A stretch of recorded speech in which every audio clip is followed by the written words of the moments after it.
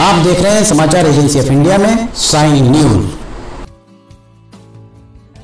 नवरात्र का आठवां दिन, माता दुर्गा के महागौरी स्वरूप की आराधना का दिन। भक्तों के कष्टों को हर लेती है।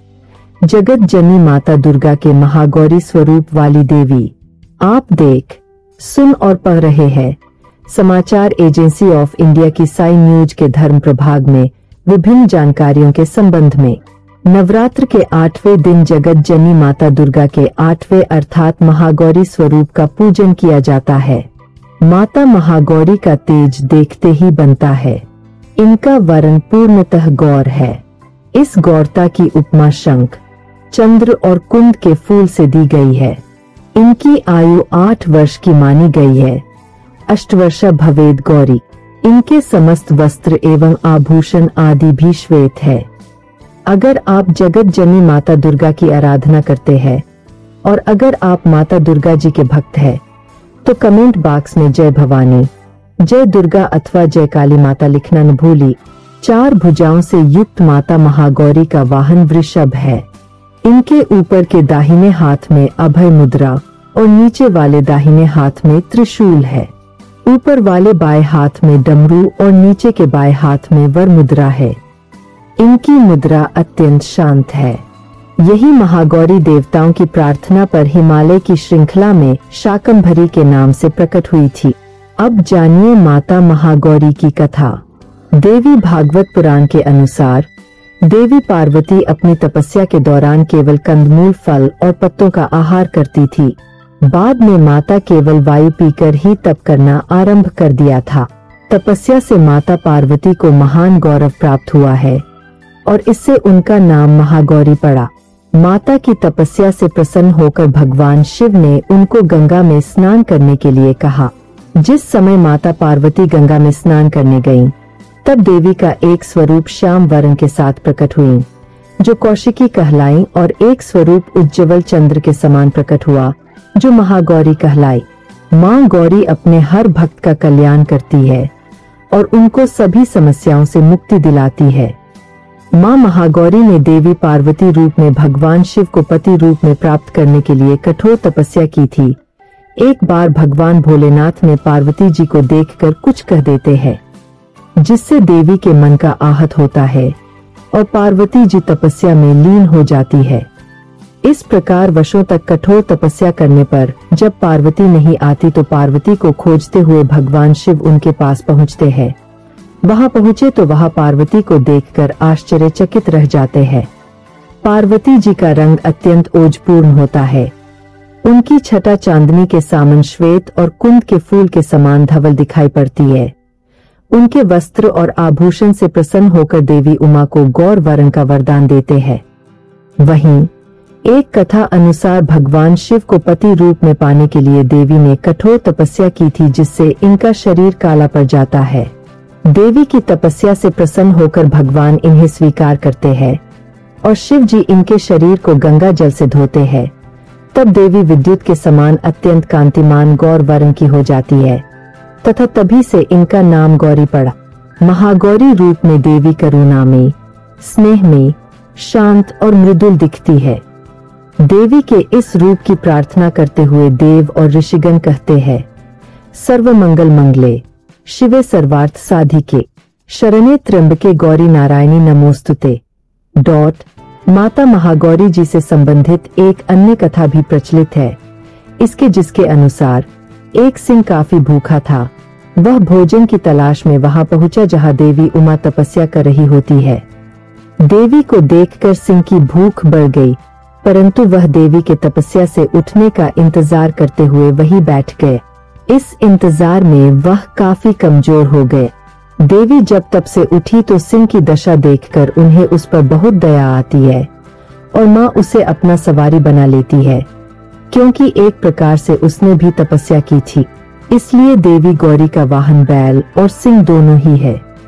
इसके अलावा एक अन्य कथा के अनुसार दुर्गम दानव के अत्याचारों से संतप्त जब देवता भगवती शाकंभरी की शरण में आए तब माता ने त्रिलोकी को मुग्ध करने वाले महागौरी रूप का प्रादुर्भाव किया। यही माता महागौरी आसन लगाकर शिवालिक पर्वत के शिखर पर विराजमान हुई और शाकंभरी देवी के नाम से उक्त पर्वत पर उनका मंदिर बना हुआ है। यह वही स्थान है, जहाँ देवी शाकंभरी ने महागौरी का रूप धारण किया था। जानते हैं माता महागौरी की पूजन विधि। अष्टमी के दिन महिलाएँ अपने सुहाग के लिए देवी माँ को चुनरी भेंट करती है। देवी गौरी की पूजा का विधान भी पूर्ववत है। अर्थात जिस प्रकार सप्तमी तिथि तक आपने माँ की पूजा की है, उसी प्रकार अष्टमी के दिन भी प्रत्येक दिन की तरह देवी की पंचोपचार सहित पूजा करते हैं। माता महागौरी के पूजन अर्चन, आराधना का महत्व जानिए। माँ महागौरी का ध्यान स्मरण, पूजन आराधना भक्तों के लिए सर्वविध कल्याणकारी है। भक्तों को सदैव इनका ध्यान करना चाहिए। इनकी कृपा से अलौकिक सिद्धियों की प्राप्ति होती है। मन को अन्य भाव से एकनिष्ठ कर मनुष्य को सदैव इनके ही पादार विंदों का ध्यान करना चाहिए।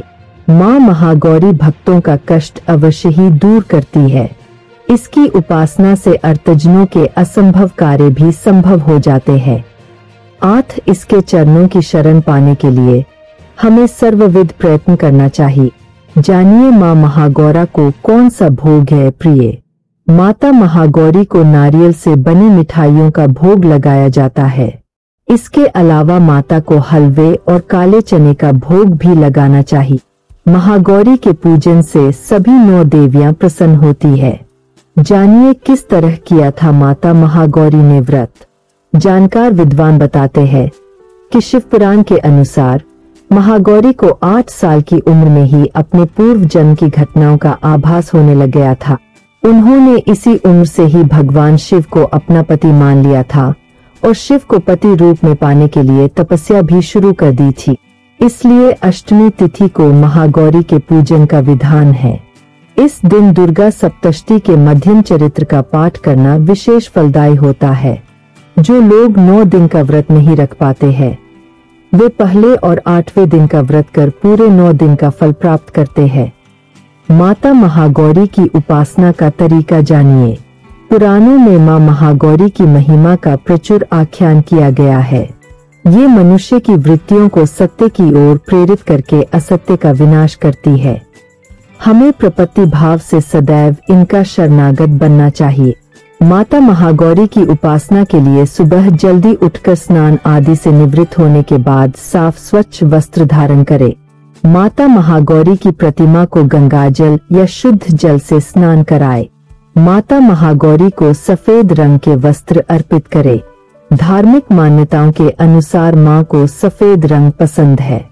माता को स्नान कराने के बाद सफ़ेद पुष्प अर्पित करे। माता को रोली कुमकुम लगाए। माता को मिष्ठान, पंचमेवा, फल अर्पित करे। माता महागौरी को काले चने का भोग अवश्य लगाए। माता महागौरी का अधिक से अधिक ध्यान करे। इसके उपरांत माता की आरती भी करे। अष्टमी के दिन कन्या पूजन का भी विशेष महत्व होता है। इस दिन कन्या पूजन भी करे। जानिए माँ महागौरी का प्रिय पुष्प क्या है। माँ का प्रिय पुष्प रात की रानी है। इनका राहु ग्रह पर आधिपत्य है। यही कारण है कि राहु दोष से मुक्ति पाने के लिए माँ महागौरी की पूजा की जाती है। अब जानते हैं माता के मंत्र के बारे में। या देवी सर्वभूगतेषु माँ गौरी रूपेण संस्थिता। नमस्तस्य नमस्तस्य नमस्तस्य, नमो नमः। इसका अर्थ होता है कि, हे माँ, सर्वत्र विराजमान और माँ गौरी के रूप में प्रसिद्ध अम्बे आपको मेरा बार बार प्रणाम है। हे माँ, मुझे सुख समृद्धि प्रदान करो। अगर आप जगत जनी माता दुर्गा की आराधना करते हैं, और अगर आप माता दुर्गा जी के भक्त हैं तो कमेंट बॉक्स में जय भवानी, जय दुर्गा अथवा जय काली माता लिखना न भूली। यहाँ बताए गए उपाय, लाभ, सलाह और कथन आदि सिर्फ़ मान्यता और जानकारियों पर आधारित है। यहाँ यह बताना ज़रूरी है कि किसी भी मान्यता या जानकारी की समाचार एजेंसी ऑफ़ इंडिया के द्वारा पुष्टि नहीं की जाती है। यहाँ दी गई जानकारी में निहित जानकारी विभिन्न माध्यमों, ज्योतिषियों, पंचांग, प्रवचनों, मान्यताओं धर्म ग्रंथों दंतकथाओं, किंवदंतियों आदि से संग्रहित की गई है। आपसे अनुरोध है कि इस वीडियो या आलेख को अंतिम सत्य अथवा दावा न माने एवं अपने विवेक का उपयोग करे। समाचार एजेंसी ऑफ़ इंडिया पूरी तरह से अंधविश्वास के खिलाफ है। किसी भी जानकारी या मान्यता को अमल में लाने से पहले संबंधित विशेषज्ञ से सलाह ले। अगर आपको समाचार एजेंसी ऑफ़ इंडिया में खबरें आदि पसंद आ रही हो तो आप इसे लाइक, शेयर व सब्सक्राइब अवश्य करें। हम नई जानकारी लेकर फिर हाजिर होंगे तब तक के लिए इजाज़त दीजिए। जय हिंद।